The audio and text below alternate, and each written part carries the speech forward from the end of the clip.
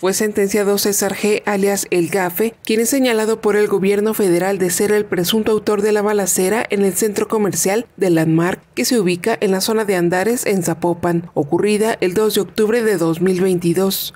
Él deberá pasar 14 años en prisión, pero por los delitos de contra la salud en su modalidad de posesión con fines de comercio, en la variante de venta de fentanilo, acopio de armas de fuego, posesión de cargadores y cartuchos de uso exclusivo de las Fuerzas Armadas.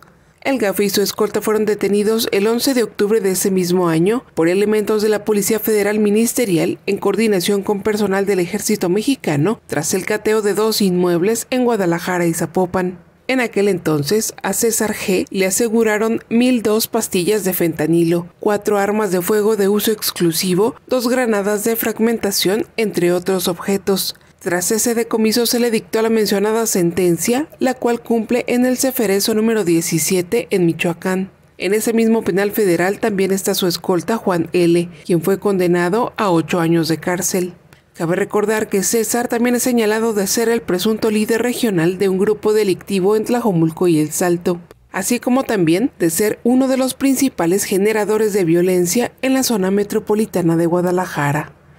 Informó para Noti 13 Elizabeth Ibal.